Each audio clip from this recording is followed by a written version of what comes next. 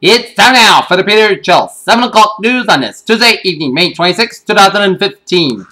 Good evening, everybody. I'm Peter Wiggins. Your 7 o'clock news and on on this Tuesday evening here in top story at 7 is...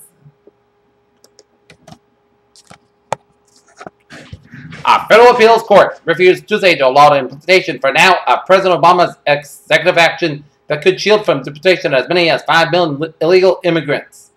The death toll from Texas flooding continues to climb on Tuesday as many areas remain inaccessible and the 40 days warn of more trouble to come. The Justice Department and the City of Cleveland announced an agreement Tuesday that would place the troubled local police department under the direction of an independent monitor to ensure reforms spawn a string of deadly encounters involving.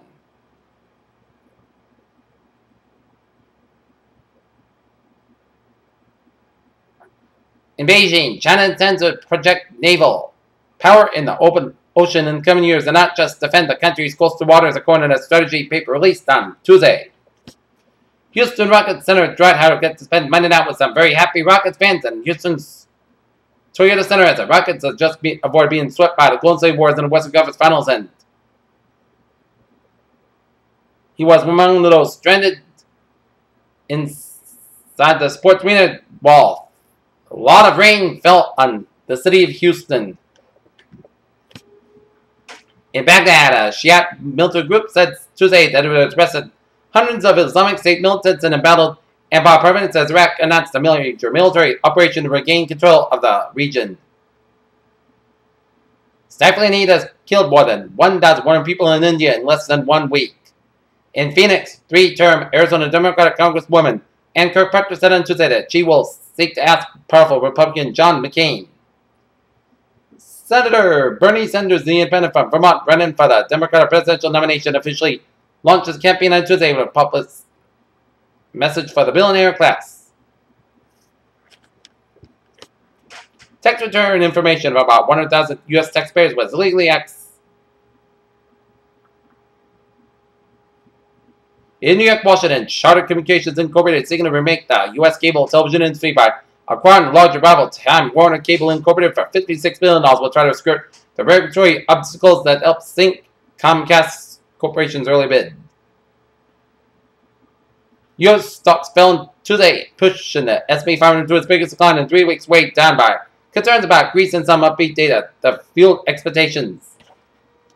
As U.S. stock market Close 18,041.54, down 190.48. SP 521.04.20, down 21.86. NASDAQ 5,032.35, down 56.61. Mary Ellen Mark, who's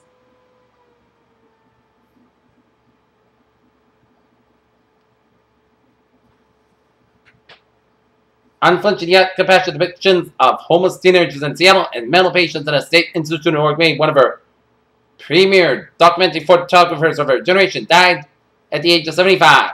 Of B.B. King's daughters claimed that their father was poisoned by 2A to work closely with him.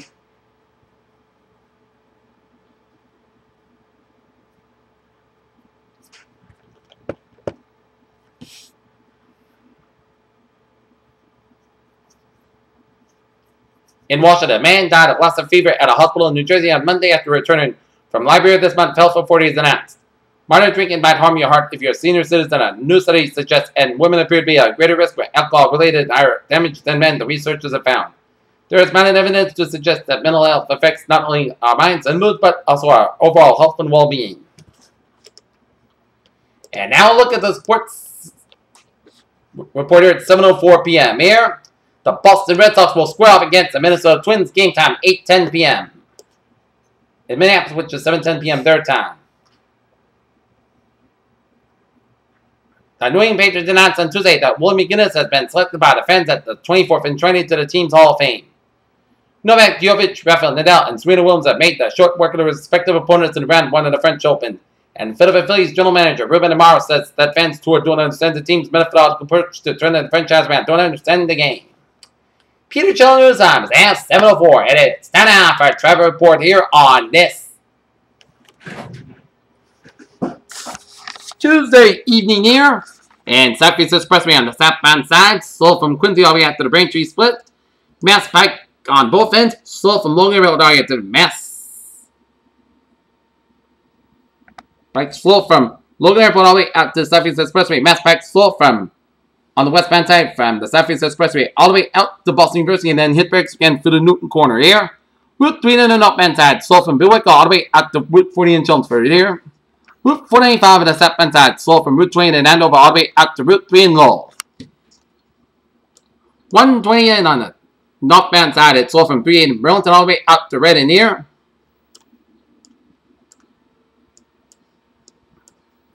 But otherwise, a smooth sailing commute here on this. Tuesday evening here, and looking at the MBTA alert, see you on this. Tuesday evening at Silverline SL4 experiencing minor delays due to traffic, and SL5 Silverline experiencing minor delays due to disabled bus. And on the Commuter Rail, Greenbush Line, train 087545 p.m. from South Station, delayed 30 35 minutes today due to signal problems there. And Providence Stoughton Line, train 8802655 p.m. from Wickford Junction will be replaced by a bus between Wickford Junction and Providence. Providence Stoughton Line, train 8804, 7.5 p.m. from Wickford Junction will be placed by bus between Wickford Junction and Providence. Peter Channel News Time, 7.06 p.m. on this late Tuesday evening here on it's time for a weather report here. Overnight, most skies skies low about 62 degrees, southward about 6 miles an hour. For Wednesday, areas of fog between 7 a.m. and 8 a.m. west. Port St. about 74 degrees, southward about 9 to 15 miles an hour. What's that? Slight of showers and thunderstorms after 2 a.m. Areas of fog after 11 p.m. Otherwise, most skies skies below on 61 degrees, southwest with about 8 to 30 miles west. Chance of precipitation 20%. Thursday, slight chance of showers and thunderstorms. Most skies skies have about 80 degrees, southward about 9 11 miles by chance of precipitation 20%. Thursday, most skies skies low at 61 degrees, southwest with about 6 miles an hour. Becoming light available in the near from Friday, both Sunday podcast skies about 78 about 59 degrees. Saturday, both Sunday skies about 82 degrees. Saturday, a chance of showers and thunderstorms areas of fog after 5 a.m. Otherwise, both skies skies low about 59 degrees. Chance of precipitation 30%. Sunday, chance of showers and thunderstorms areas of fog before 7 a.m. Otherwise, mostly both skies skies have about 72 degrees. Chance of precipitation 50%.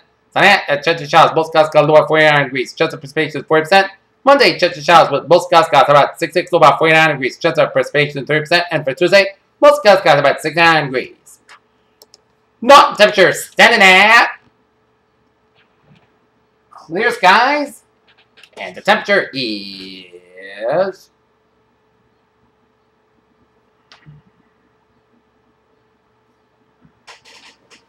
79 degrees. And that is coming it for the Peter channel. 7 o'clock news on its May 26, 2015 on Tuesday evening viewers. You have a good evening out sail.